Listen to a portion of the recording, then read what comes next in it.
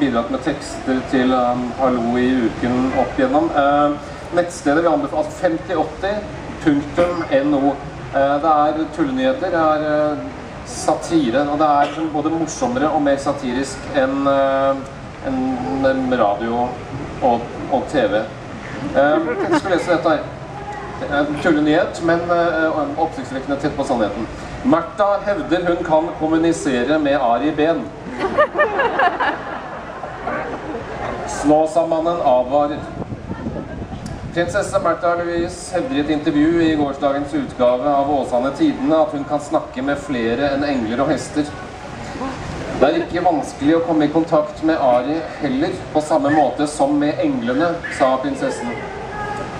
Reaksjonen etter uttalelsen har ikke latt vente på seg. Flere biskoper har gått ut og advart Märtha mot å kommunisere med Ari Behn.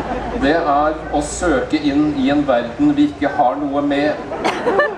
Vi vet ikke hva det vil åpne opp for av krefter, og jeg vil fraråde alle fra å forsøke å få kontakt med Ben, sier Tunsberg-biskop Laila Riksåsen.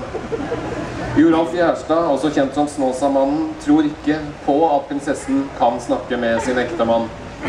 Det er umulig å kommunisere med ham, dessuten er det svært farlig. Forsøker hun å kommunisere med Ari Behn, risikerer hun å ende opp som Per Heimly, advarer han. Gjerstad mener det jordiske riket og Behn-riket er atskilte av gode grunner. Det er en helt annen logikk som hersker der. Vår verden vil ikke tåle å utsettes for den.